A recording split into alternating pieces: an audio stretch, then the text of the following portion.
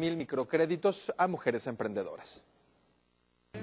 Apoyar a negocios familiares y ayudar a emprender a mujeres al otorgarles microcréditos es parte de los compromisos que este martes hizo el candidato a la alcaldía de Monterrey por el Partido Revolucionario Institucional, Adrián de la Garza, en la colonia moderna.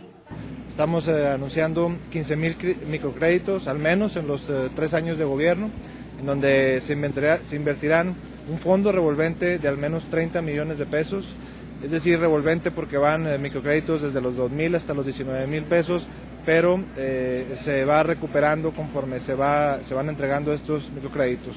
Además del tema de seguridad, transporte, educación y empleo, el candidato dijo que es fundamental ayudar a esas familias que quieren colocar un negocio pero carecen de recursos económicos.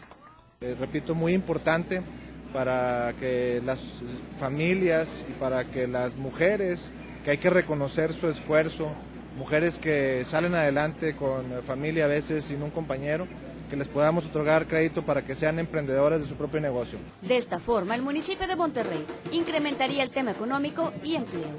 Con imágenes de Edgar Aguirre, Sara López, Noticieros Televisa.